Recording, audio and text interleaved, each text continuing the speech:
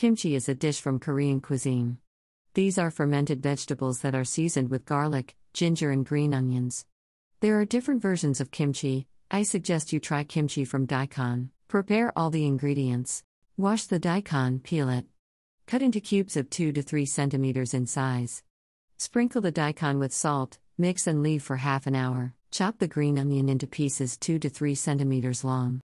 Mix sugar, ginger, chili flakes, and soy sauce. Add the garlic passed through the press. Mix well, drain the water that has been released from the daikon. Add the dressing and green onions. Mix well. Transfer the kimchi to a jar, close it tightly, and leave it for two days at room temperature. Bon appetit!